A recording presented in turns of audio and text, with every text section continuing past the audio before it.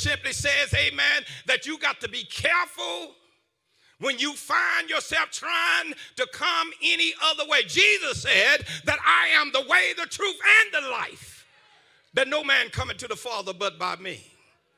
The second thing that I notice is the temptation to immorality, talking about wickedness and wrong behavior, things, y'all don't like this kind of preaching, things that are wrong.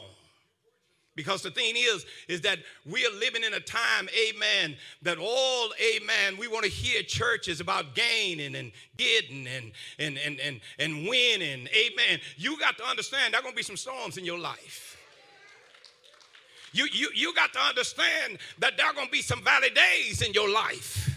And you got to understand that when you are facing those giants in your life, you got to learn or to know how to hold, amen, your ground until the enemy, amen, realize that the battle has already been won. Matter of fact, I need somebody to shout right now. You might be facing, amen, some uncertainties in life, but you got to understand, he don't understand how you can keep praising God